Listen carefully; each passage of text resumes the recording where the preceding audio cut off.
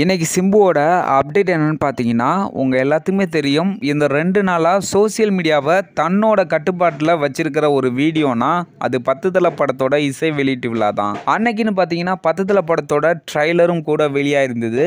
இந்த ட்ரைலர் வந்து வெளியான இருபத்தி நாலு மணி நேரத்தில் பதினாலு மில்லியன் பார்வையாளர்களை கடந்து மிகப்பெரிய ஒரு சாதனையை வந்து படைச்சிருக்குன்னு தான் நம்ம சொல்லணும். அதைத் தொடர்ந்து நடிகர் சிம்பு அவர்கள் பத்து தலை படத்தோட இசை வெளியீட்டு விழாவில் என்ன சொல்லியிருக்காங்கன்னா இந்த நிகழ்ச்சிக்கு வந்துகிட்டு இருக்கும்போது என் மனசுல ஒரே ஒரு எண்ணம் மட்டும்தான் இருந்தது. இந்த நிகழ்ச்சியில வந்து நம்ம கண்டிப்பா வந்து அழக்கூடாது. எப்போதுமே ஒரு படத்துல சின்ன காட்சி ஒரு சென்டிமெண்ட் சீன் இருந்தா கூட நான் வந்து அழுதுருவேன். ஆனா என்னோட ரசிகர்களுக்காக இனிமேல் வந்து நான் அழமாட்டேன் அப்படின்னு சிம்பு அவர்கள் வந்து சொல்லியிருக்காங்க.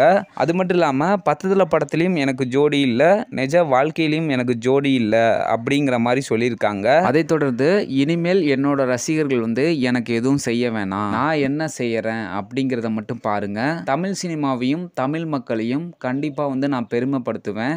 இனிமேல் என்னோட ரசிகர்களை வந்து எப்போதுமே தலைக்குனிய வந்து வைக்க மாட்டேன். அப்படிங்கிற மாதிரி நடிகர் சிம்பு அவர்கள் வந்து பயங்கர உணர்ச்சி வசமா வந்து பேசியிருக்காங்க.